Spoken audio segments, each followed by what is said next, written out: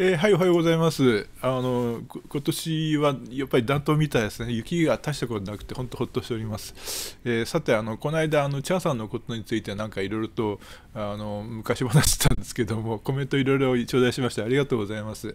えー、それで、あの一番上のそのコメント、あのベベベ浩二さんですね、いつもコメントありがとうございます。うちのあの同業のあの方でいらっしゃいます。えー、で、えー、っと、先生はって、これ、うちの業界のあの業界なんで、別にあの学校の先生って意味じゃないので、えー、先生はフュージョン系には行かれなかったんですか、えー、ちょうど高中さん入り出した時期が高校時代ではないですかね。え、パイオニアのコマーシャルでブルーラグーンが流れた時期じゃなかったですか？えー、兄がギター弾きだったんですがリッチーか高中にするりと転身してましたよ、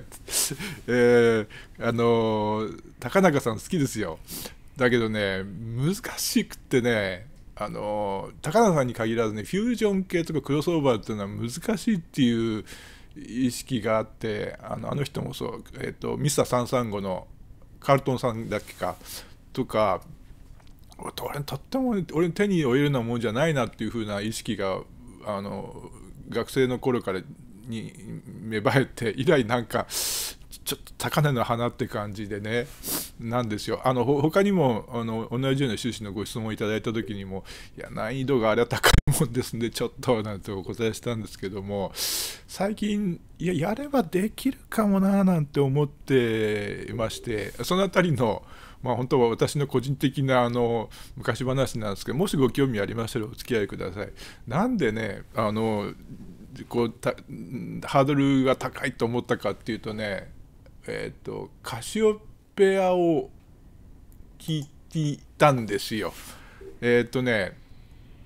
そうそう思い出したんです昔のことってさだ60過ぎるとなんか昔のことがやったらと思い出されるもんですね。それで18からそこらの頃東京に行ってね、えー、で、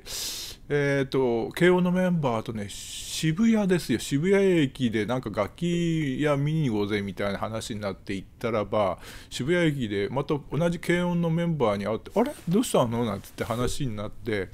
でいや実はあの僕の友人がイーストウエストに出演することになったんで見に行くんだよって言って何それとかって思ったんだけどあの、えーと、有名ななんかコンセスなんですねでそ他の慶応のメンバーと「いやそれじゃあそれ見に行こうぜ」みたいな話になってじゃあ合流して私もあの、えーと、そこに一緒にくっついていったんですけれどもいや度肝抜かれましたね。あのえーと、アマチュアなんですけどもねそのアマチュアのコンテストで、えー、まあまいんですわ あの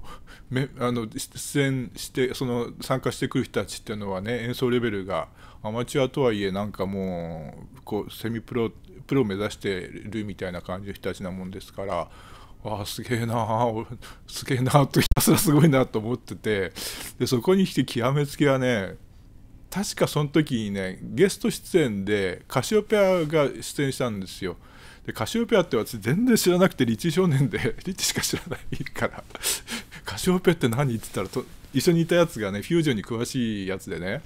まあ、カシオペア知らないみたいな感じで、あのー、フュージョンなんですよね、えー、でノロノロさんですよね。あのギタリストはね。でまあすごいテクニシャンぞろいのバンドなんだけど確かあの時ねイーストウエストにやっぱ最初の頃あのコンサート参加したんじゃないですかね。でその今でもはっきり覚えてるのは、M、あのその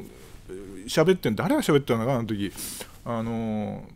僕らもねコンテスト出る頃にねなんとかなんて話してて。それでえ、ー、とこのこの曲やりますって。でその作った曲って僕らが作ったんだけれども本当にこんな曲僕らが演奏できるのかっていうぐらい難しい曲を作っちゃいましたねみたいなことを言ってその後は演奏したんですけれどもそれがね確かねスワローって言ってたと思うんだけどな。あのそれを聞いてああすげえすげえと思ってあのフュージョンとかクロスオーバーとかってのはまあレベルがすごいんだねっていう風なの強くなんかこう印象を持ってですねいやとてもこれは手に負えるようなあのレベルのもんじゃないななんて思ったように思います。すすいやプロってのはすごいものだねと思って、えー、ました。そその辺から苦手意識あったな。あともう一つはね先輩たちがやってたんですよ。あの入っていきなり軽音の部覗きに行ったらね先輩たちがねこの曲やってたんですね。スペースサーカスのえーと、今でこそ分かんないけどもこれ何ていう曲なのかなって当時よく分かってなかったんだけどスペースサーカスのポットピープルって言うんですね。そういえばそのそうさっき言ったイーストウエストに一緒に行ったフュージョン好きの、えー、彼友人がねあこれ貸してあげるわって言ってファンタジックアライバルレコード借りてあこれやってたのかなと思ってダビングして聞いてましたね。大学1年生の頃かな？18歳の頃ですけれどもね。でこれもねめっちゃ難しい。しい曲でね。で先輩たちはおおって感じあの弾いてるんだけどそれを目の当たりに見てねあこれすごすぎ俺無理っぽいなとかって思って、えー、たんですね。本当東京出てねああ世の中にはギターとか楽器の上手い人たちっていうのは山ほどいるわけだなと思って、えー思ったんですね東京ってすごい人たちがいるもんだと集まってくるもんだなと思いましたよね。えー、なんていうことであのフュージョンとかそその辺のところはなんかすごくなんか苦手意識があったんですけども最近ねやっとあのその辺のこう呪縛から今少しずつ解かれつつありましてっていうのはねえっ、ー、と高中さんに関してはねえっ、ー、とポップギタリスト健太さんっていう方のあの YouTube チャンネルすごく参考になってあのライブにも参加させていただいてえっ、とあのライブラでライブあのライブでねいろいろとチャチャットでいろいろとやり取りしててあのめいやプロギタリストなんですよ、まあ、もうすごいあのテクニシャンの方なんだけど私のチャンネルを見てください。言って笹川さんのギターあのいなたいねいなたいってなんだろうなと思ったんですけどあのいやいい意味で言ってんだよなんてね。それで笹川さんはねもうちょっと頑張るとねもうちょっと頑張って練習するとねあの箱バンドのあのギタリストぐらいになれると思うよなんていうご褒めの言葉がいただきましてね。であのこの方フュージョンなんかもあの高中さんなんかもねアップしてくれてんでそれもちゃんとあのフィンガリングが見えるようにばっちりあの動画流してくれてんであこれ見ながら同じようにやれば弾けるかなとかねブルーラグーンとかね。えー、あのコード進行なんかも解説してくれてるんであのフュージョン系のっていうのはこれどうしてこういうコードなのかとかこのコードの押さえ方どうなのかとかっていうのをこういうのを見るとあのなんとかできるのかななんていうふうに思ったりもしています。それから、えーと、さっきのねスペースサーカスはねあの一回トライしましてねああ懐かしいってあこの曲ねと思って当時絶対こんなもん弾けねえわと思ってたんだけれども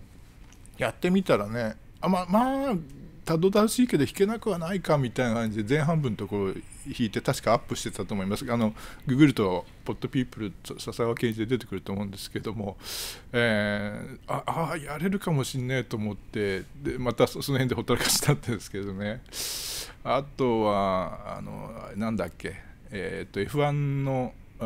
出てくるやつ。あれ何て言いましたっけね。えー、あの安藤さん。安藤さんがギター弾く。すいません。ど忘れして、えー、なんだっけ。あのバンド。タカタタラタラタタタタタタ。あれもねあの新潟来た時ね見に行きましたよって。ああさすが。プロはすごいなと思って。30過ぎ30歳ぐらいのところ見に行ったんだけど。ああ安藤さんすごいこんな難しい記憶をそんなにさらさらってやっちゃうのねみたいな感じで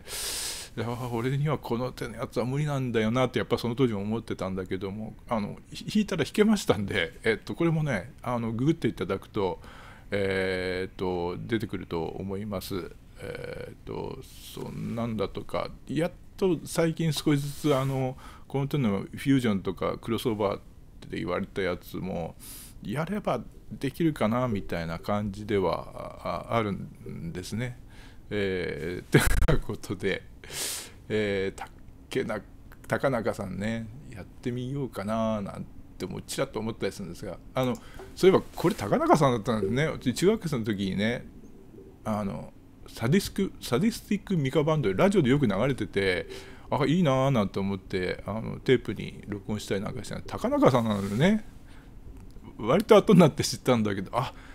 だからあのギターかっこよかったんだわとか思ってえー、ました。あそういえばそう昔あの慶応のバンドの仲間で詳しいやつがいて高中さんって昔ハードロックやってたんだよとかねあの髪緑色に染めてフライング V かなんか持ってハードロックバリバリだったんだけどさなんとかって聞いたんですけど本当なんですかね。今の姿から到底想像できないんですけども。なんかめちゃくちゃ頭きたんでしょ？なんか進学校で行ってでもギター少年だったとかってなんか昔バンドのメンバーから聞いたことがありますけれども。えー、ということですいません長々と,、えー、とフュージョン系とのあの最近の関わりについてあのご質問にお答えいたしました。それじゃあ